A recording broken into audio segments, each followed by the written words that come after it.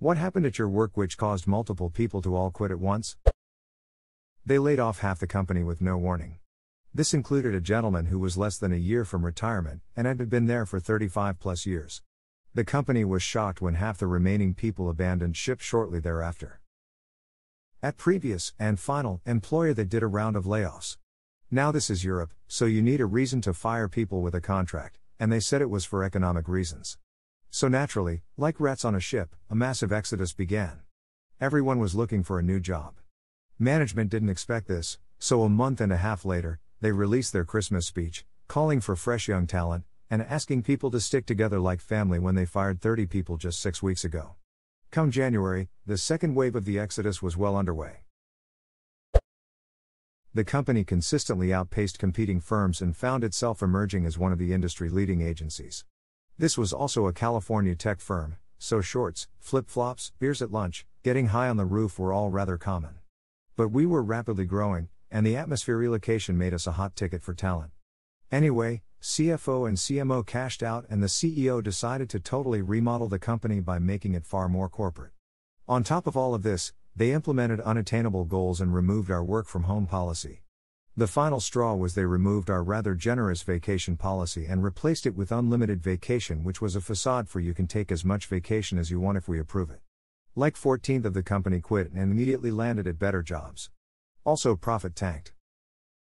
Our company is doing incredible, let's change everything. Or our company is doing incredible. What can we do to thank our staff for our sixth year of over 10% growth? When people wanted them to fix our broken bonus system, or give us actual raises, really. Money is all you guys care about. Really? Money is all you guys care about. No, Ted, I sit in this cubicle for 8 hours every day while the sun is nice and warm and people are on the beach because I ducking love working. I actually said in the chat, in my literal first Zoom meeting with the company, we're a sales and distribution company for Gate Motors. It's not like we're curing cancer or ending world hunger. Of course, we're all here for the money. Cue the chat blowing up with yeah and what white guy said. Restructure of the way we're paid. What I used to do involved about 40% client interaction, 20% team coworker interaction, and 40% paperwork and case coordination stuff. Based on what we do, that means only 40% of the time is technically billable, and there are really sticky rules for what is and isn't billable. So, logically, we were being paid on a salary model. Cue management saying we can only make money for the time we have that is actually billable. Hashtag X200B, 14th of the department quit. Two of us on the same day. Wait, why is paperwork and case coordination not billable? It's the healthcare field. Only direct client contact can be billed to insurance. So, what would happen if you simply didn't do the other 60%? Lots of bad things. If it's not documented, it didn't happen. Lots of lawsuits. Turned out our owner was keeping the Social Security money taken from our paychecks. And yes, he was caught. Edit, holy crap, this blew up. Owner is just a term for owner of the company. I don't mean anything by it. You can pull that scam for about 4 to 5 years, really insane the lack of communication between the IRS and SS. Can confirm, I used to withhold taxes for babysitters for my kids, because you're required to if they are over 18. Had a payroll service to do all of the calculations, gave them pay stubs, the whole nine. Four years after I stopped doing this, I get a letter from SIS stating that they never received one quarterly filing for one of my kids' former babysitters and would I please forward it along. They gave me a summary of the reported wages. They were close, but off by a few bucks in either direction for the years before and after the one they were missing. I dug out the documents and found out that the reason for the confusion was that the payroll company accidentally filed on the previous year's form, pre printed year on the side. I called so where they basically just said don't worry about that, we just need a number, the IRS is terrible about providing the totals to us. So I gave it to them verbally, they wrote it down and I haven't heard from them since. Hashtag X200B, edit, lol at all of the people ping me that I'm the scum of the earth for having paid my taxes and obeyed labor laws. That was an honesty check, if you gave bad numbers, then they would have started a full investigation. Both the IRS and SS can be really lazy. The owner died, and his idiot son took over and decided that the company didn't make him enough money and started to implement cost cutting measures like turning off the AC in the building. Let me guess, two people are working on this?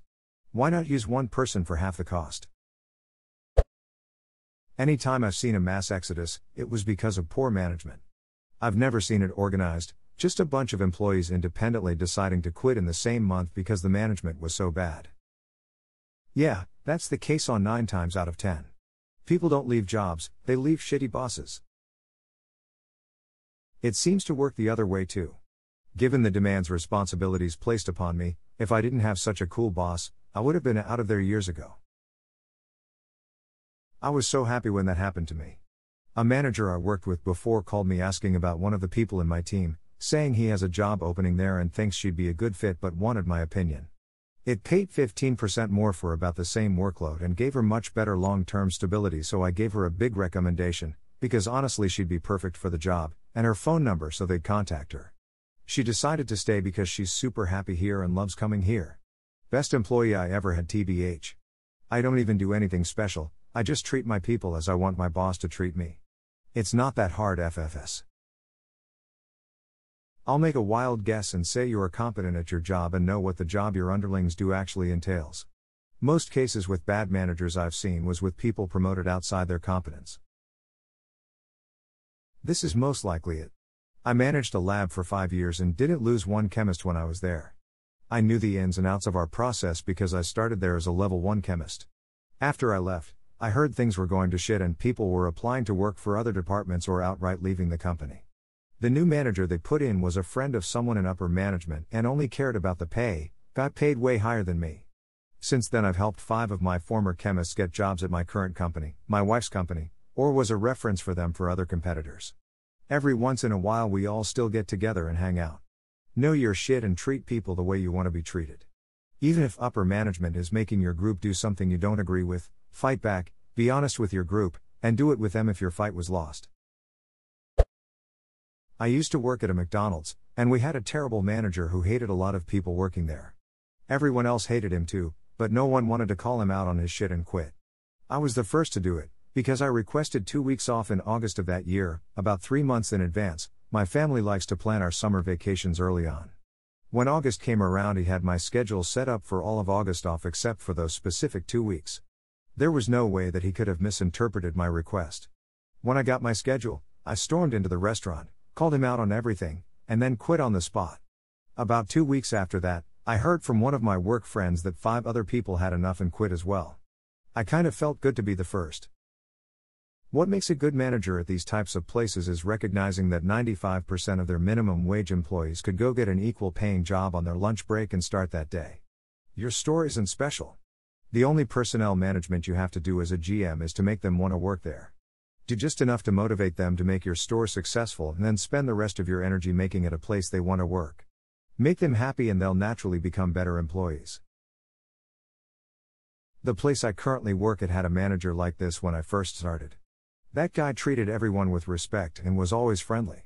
If he saw you slacking, he'd just politely come up to you and say, Hey, let's go find a project to work on, and then he would help you with it. You just wanted to impress this guy and work hard for him. The guy was always at the store for opening, regularly stayed late to help close. He would regularly schedule beer and wing nights, threw us the best Christmas parties, and never made you feel bad for calling in sick. Everyone loved this guy. If the store did well, he got a bonus and would use it to throw the Christmas party and beer nights. Well, he eventually left, and the manager he was replaced with is a fat, lazy cunt who refuses to be at the store any longer than he absolutely has to.